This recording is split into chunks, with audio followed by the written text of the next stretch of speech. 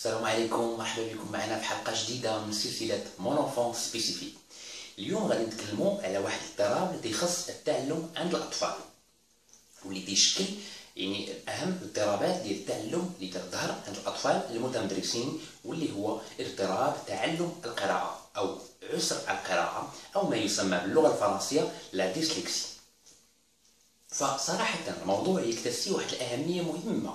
إلا خدينا بعين الاعتبار الإحصائيات اللي تمات على مستوى مختلف الدول الأوروبية واللي كلها تمشي في نفس الاتجاه بحيث أنه ما بين 6 حتى 10% ديال الأطفال المتمدرسين فهم يعانون من هذا الاضطراب أي ما يعادل طفل على مستوى كل قسم وهي نسبة مهمة.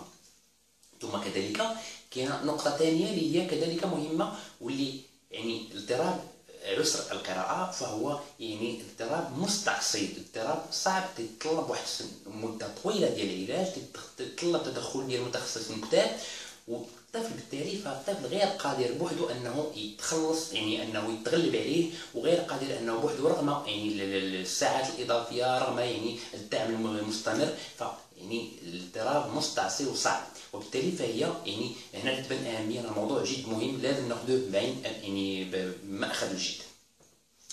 فالفكرة اللي بغيت نأكد عليها اليوم في الحلقة ديال اليوم هو أنه يعني أصبحنا اليوم تنسمعوا كثير le terme ديال la dyslexie وصبح الآن موضة بحيث أنه يتم استعماله الآن بواحد الطريقة كثيرة وكبيرة من طرف الآباء المدرسون المربون يعني ولا المعلمون فيعني صبحنا آه، مجرد أن الطفل تنشوفوا عنده صعوبات على مستوى تعلم القراءة كنلصقوا عليه l'étiquette ديال la dyslexie الشيء اللي هو خاطئ. فماشي بالضرورة أي طفل عنده صعوبات على مستوى تعلم القراءة يمكن اعتباره يعني un enfant dyslexique لا. من أجل هذا الهدف باش نوصل لكم هذه الفكرة نتكلموا يعني آه، بطريقه مختصرة شيئا ما على المميزات ديال la dyslexie فاولا اللي خصنا نعرفه هو أنه la dyslexie هي واحد العجز هي واحد الاختلال في وظيفة القراءة عند الطفل. يعني الاشكاليه تتخص بالأساس القراءة. فالطفل يكون عنده يعني صعوبات على مستوى معرفة الكلمات المكتوبة. ثم كذلك الميزة الثانية هو أن la dyslexie عندها واحد spécifique بحيث أن الإشكالية عند الطفل هو dyslexique تنحصر على مستوى يعني آه، اللغة المكتوبة. تنحصر في ميدان القراءة واللغة المكتوبة. في حين يعني الميادين الأخرى ديال التعلم تكون سليمة غالبا ويكون الطفل يتمتع بذكاء عالي. بعض المرات يتمتع بذكاء يعني أكثر من عادي. المسألة الثالثة والميزة الثالثة ديال ال dyslexie هو أنها ما عندهاش أسباب واضحة ومعلومة بحيث أنه تنعرفوا أنه كاين normalement أسباب طبيعية اللي توفرت عند الطفل تتأدي يعني الاضطراب في تعلم القراءة. مثلا الطفل اللي مثلا عنده إشكالية على مستوى البصر ممكن يكون عنده مشكل على مستوى القراءة. الطفل اللي ما تيسمعش عنده إشكالية على مستوى السمع ممكن يكون عنده مشكل على مستوى يعني أنه يفرق ما بين الأصوات وبالتالي تتنعكس على القراءة. الطفل اللي عنده تأخر ذهني أو إعاقة ذهنية. فطبيعي أنه ممكن يكون عنده إشكالية على مستوى القراءة.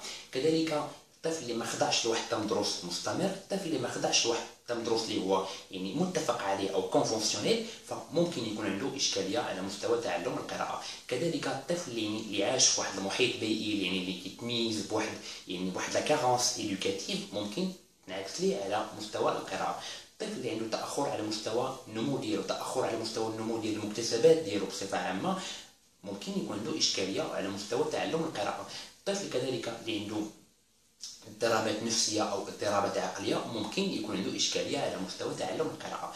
فإذا توفرت هاد الأسباب فما تنتكلموش على dyslexie فإذا كنا نتكلموا على dyslexie خصنا اولا نتيقنوا أن هاد الأسباب ما كايناش عند الطفل.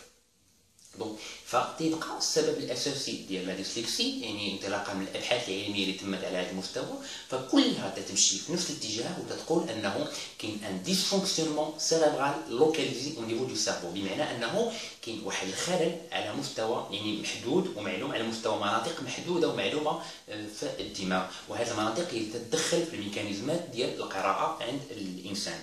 ثم الميزة كذلك الرابعة اللي بغيت نتكلم عليها واللي هي مهمة هي مبدأ يعني الاستمراريه أو la notion durabilité بمعنى أنه لازم باش نقدروا نحطوا التشخيص ديال la dyslexie يجب أن ديك الصعوبات ديال القراءة اللي عند الطفل تكون مستمرة مع مرور الزمن. يعني رغم المجهودات اللي تنعملوا بها رغم الدعم والتكوين المستمر تنديروا للطفل دائما الصعوبات مستمرة مع مرور الوقت بحيث أنه من غير المعقول اننا الطفل اللي هو كاين مثلا في la maternelle أو في le préscolaire عنده صعوبات في القراءة. نجيو نقولوا أنه il est dyslexique لا ثم كذلك الطفل مثلا اللي هو تيقرا في le CP فما يمكنش نجيو ناكدوا عنده صعوبات في القراءة ونقولوا أنه il est dyslexique.